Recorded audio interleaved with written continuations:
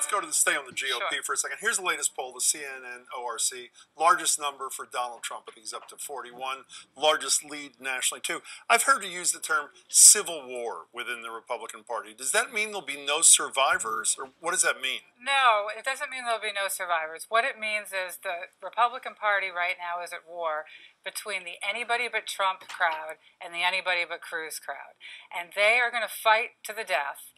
And meanwhile, I think it's interesting because Kasich and Rubio and a couple of the other candidates are quietly picking up steam while the war of words is going on between. Kasich tied for number two in uh, in New Hampshire Right. with uh, with Cruz. So you don't think it's fatal? You just think so? What? I don't think it's fatal to any of the other candidates. So why is don't it any different do- from what went before? I mean, what what's the, why is the consequence of this internal fighting any different from any other primary campaign? It's just that the depth and the breadth of the hatred is so deep in a way that it's never been, I've never seen in my lifetime in politics. The people who are against Ted Cruz, and many of these people are people who share his conservative philosophy, the people who are against him hate him so much that they, many of them will vote for Hillary Clinton or stay home if he's the nominee. I want to talk not about Cruz, but Donald Trump. David Axelrod, obviously key advisor forever to Barack Obama, said in a New York Times piece, you know, I should, I'm I should be ashamed of myself that I missed this whole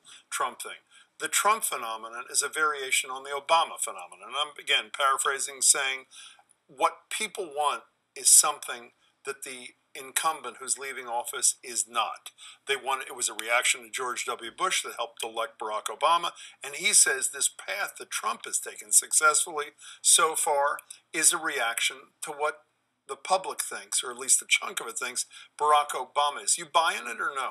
Well, I think more less than than than what you said. It's more of the public's desire to have a cult of personality. So, what Barack Obama projected um, and reflected back to people was hope and change. What Donald Trump projects and reflects back to people is anger and bitterness. Yeah, but but Axelrod said uh, the president patient and deliberate, exactly the things that Donald Trump are not. She doesn't buy it. Do you buy it or no?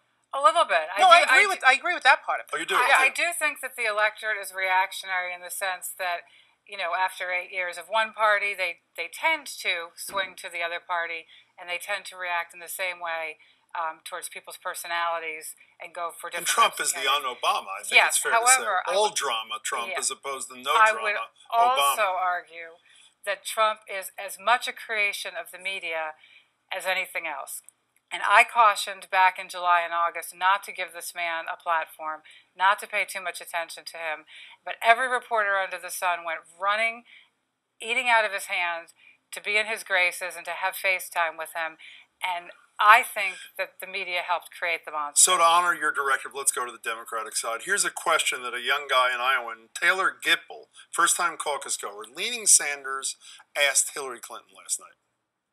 It feels like there's a lot of young people like myself um, who are very passionate supporters of Bernie Sanders, and I just don't see the same enthusiasm um, from younger people for you.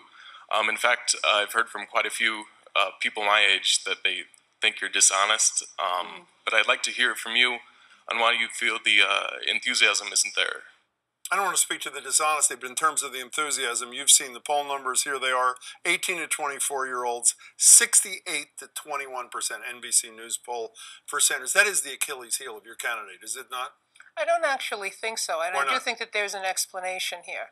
So, you know, if you're talking about millennials, and I'm not denigrating the importance of their vote, but you are talking about the generation of people who, right at this very moment, know the least that they will ever know in their lives about politics, about life, about life experience, about success, about failure, and they are always, because they are young, looking for something new. But they're Not allowed without- to vote without- regardless of, of right their limitations. without a whole lot of detail it is Yeah. only when you get older and you begin to experience life that you realize that the devil is in fact in the details so it doesn't surprise me i think the thing that surprises me most about sanders is the difference in age but it is not new in this country I from mean, between the two candidates? no, the difference between him and the Oh, I his see, age and yeah, the yeah. millennials age. It is not new in this country, whether you're talking about hippies or any other group of people, for young people to want something they perceive to be new and different, regardless of the ability of that thing to provide the type of So you government just that they aged need out of this want. group. You buy this explanation or no? Um, And does no. it matter? I, I have a theory about this. I believe that the American people always want the most dynamic candidate. They always want the most likable candidate. So, a Reagan or an Obama, on the one hand, they're visionaries. They're dynamic. They speak in big themes. They speak to the heart of the American people. Forget about whether you agree with them. Then you have your beer candidates, as I call them Bill Clinton, George W. Bush, maybe Chris Christie. They can talk to normal people. They feel your pain. Okay? Hillary Clinton is a careerist. She's John Kerry. She's John McCain. She's the next in line. She may have the most experience. She bores people to tears. On that note, Andrea Cabral, we got to go. I'm She's sorry. the most qualified person in the history of this country to ever run for I the knew you'd get presidency. that And in. resumes Jennifer, don't win you two elections. can continue. It's fine. I just But have to go ahead. experience does. There they are, Andrea Cabral, Jennifer Braceras.